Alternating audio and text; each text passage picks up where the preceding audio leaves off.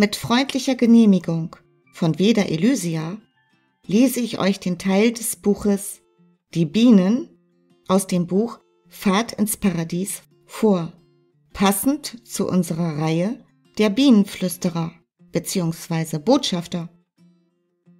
Das Buch Fahrt ins Paradies bringt dir auf fantastische Weise das Leben auf einem Familienlandsitz näher.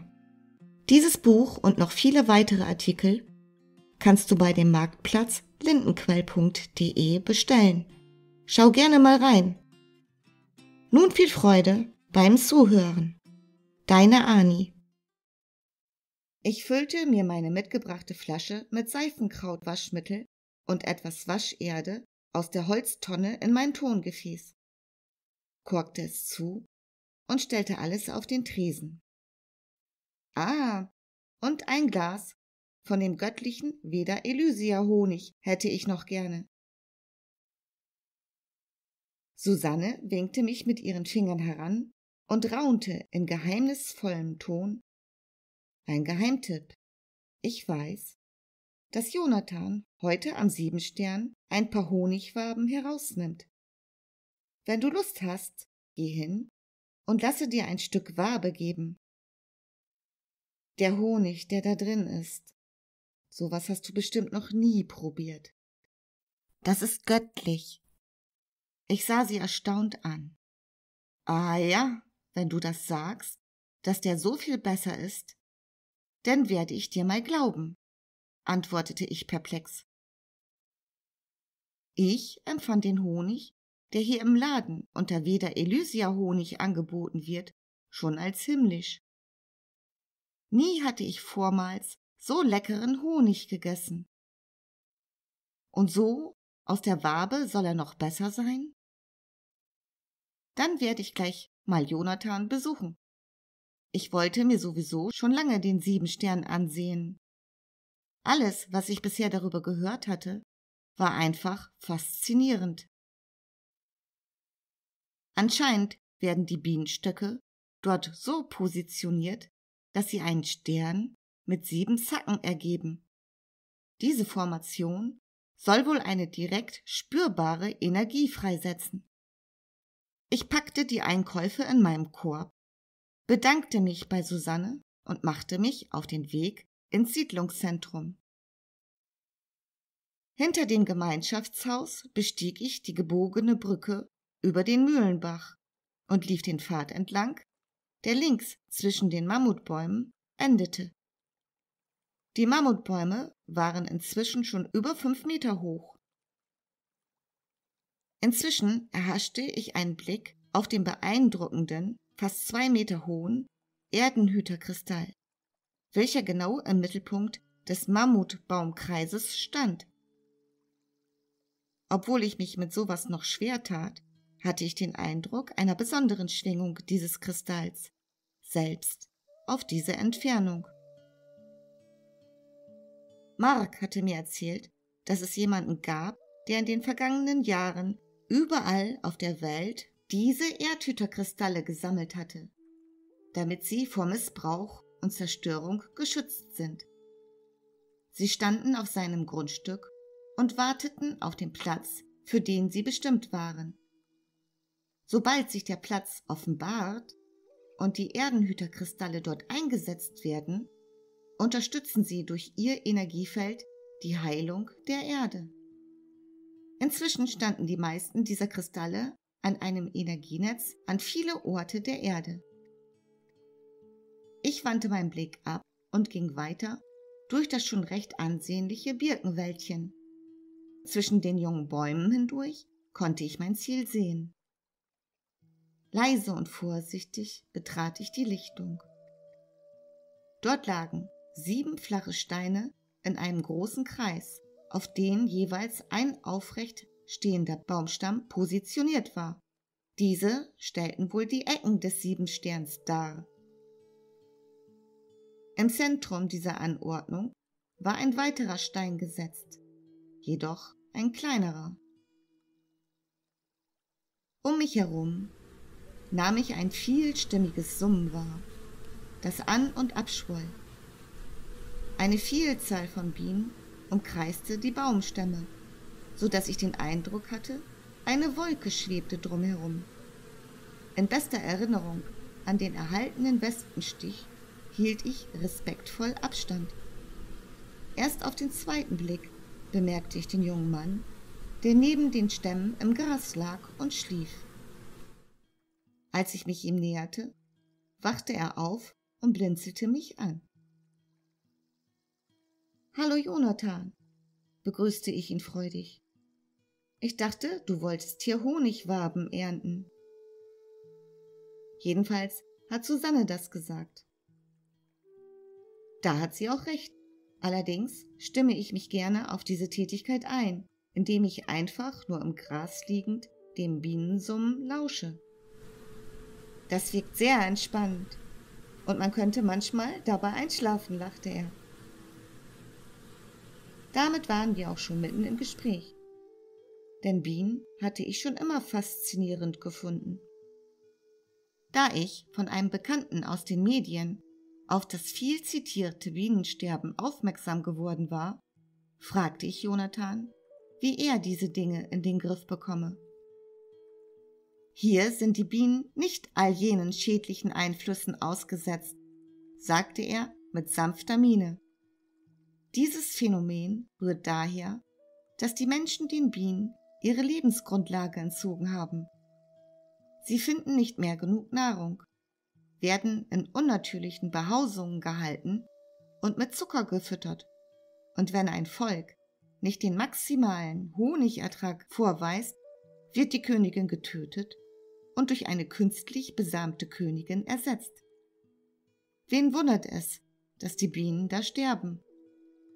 Er erzählte mir, wie lebensfreudig die Bienen auf den Landsitzen sind.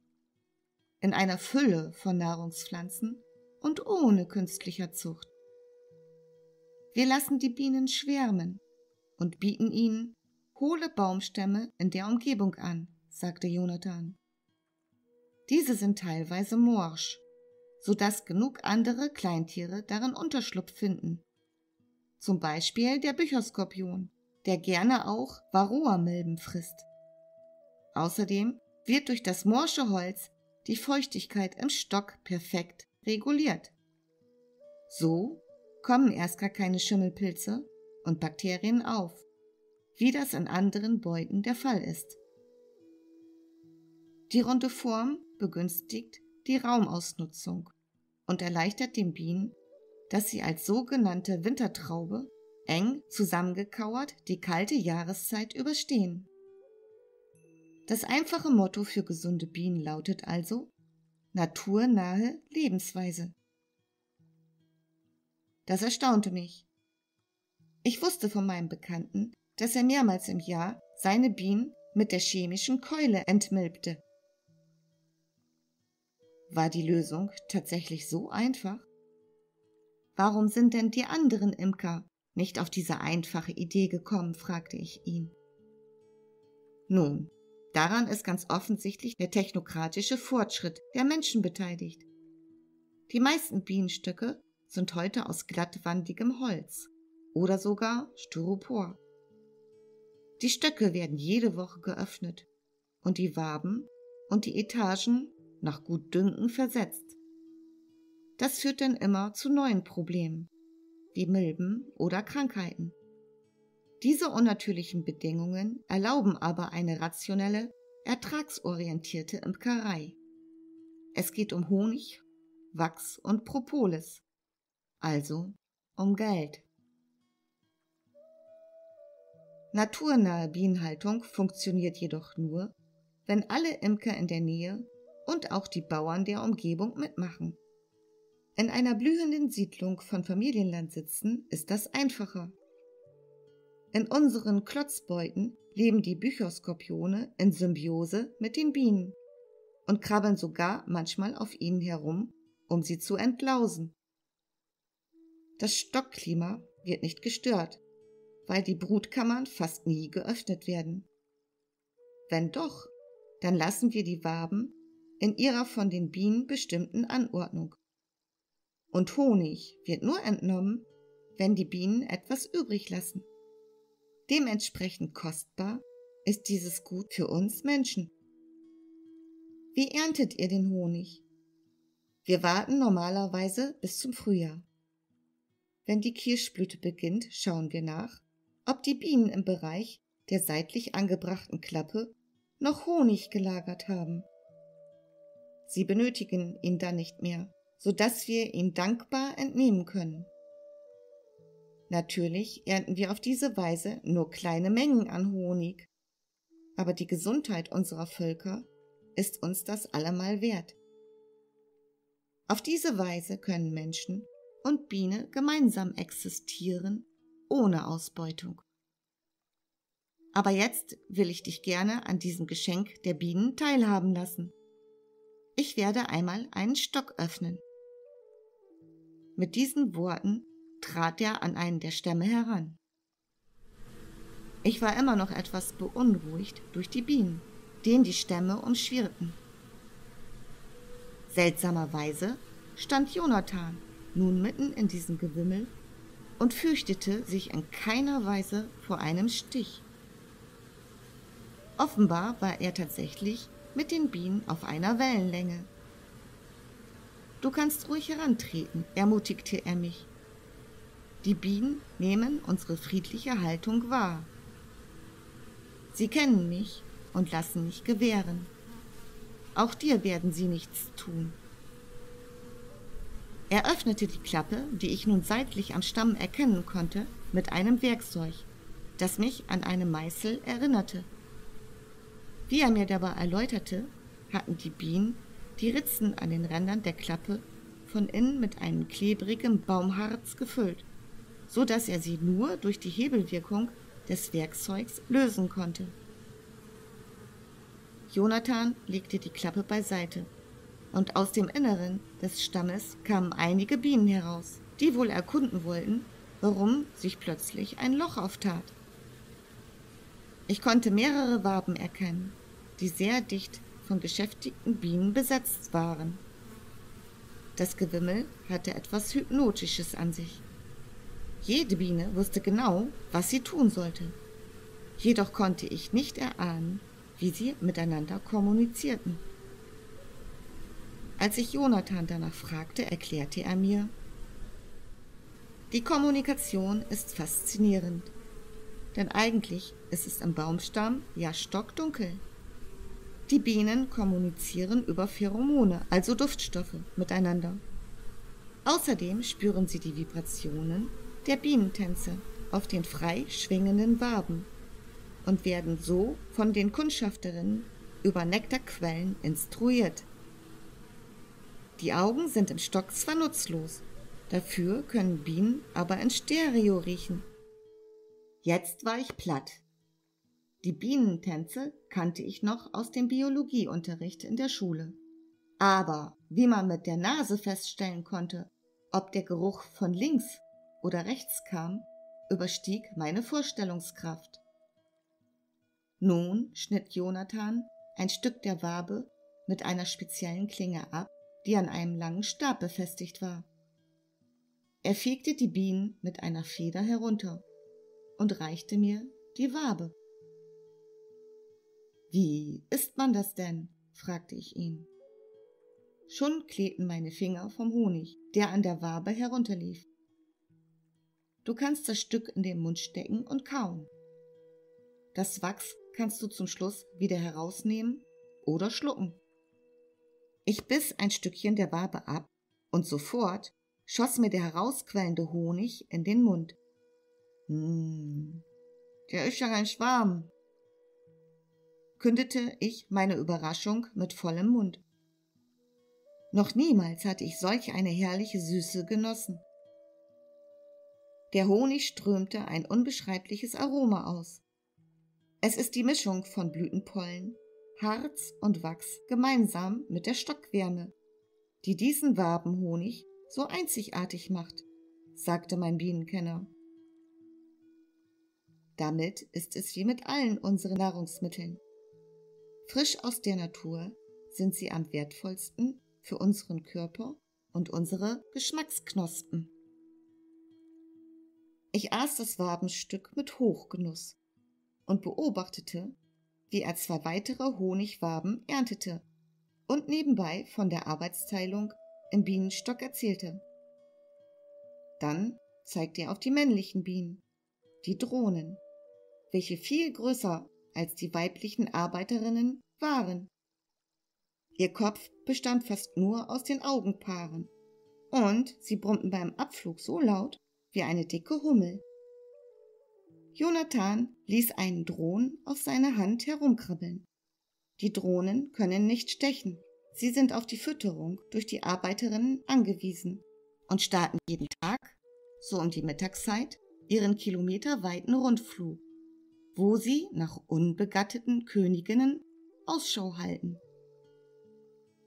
Hoch in der Luft findet dann der Paarungsflug statt, nachdem der Drohn stirbt. So erfüllt er seine Aufgabe mit der Weitergabe der Gene an die nächste Generation. Mit diesen Worten fegte er die Bienen vom Rand der Öffnung und setzte die Klappe behutsam wieder an ihren Platz. Wir wollen sie nun in Ruhe lassen, sonst geht durch die Öffnung zu viel Nestwärmeduft verloren. Nestwärmeduft? schnappte ich. Mein Kopf schwirrte vor lauter Neuigkeiten, wie ein ganzer Bienenschwarm. Das ist die Luft im Inneren des Stocks. Sie ist warm und wird von Bienen mit Propolisdampf gesättigt.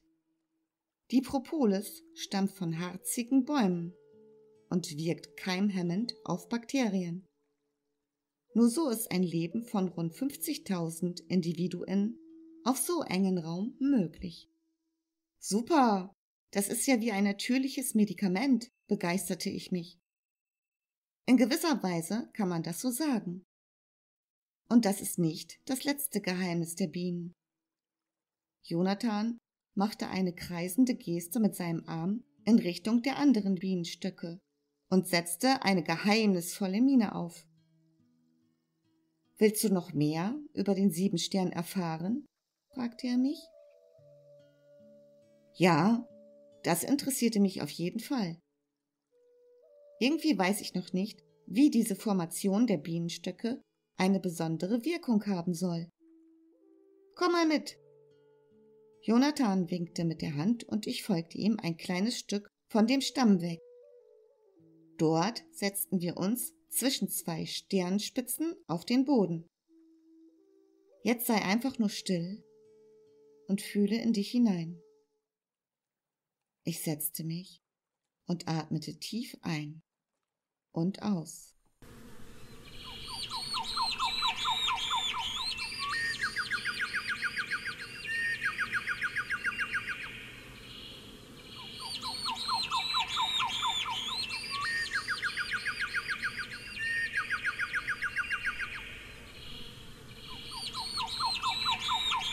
Jetzt weiß ich es, was die anderen meinten als von der besonderen Siebensternenergie die Rede war.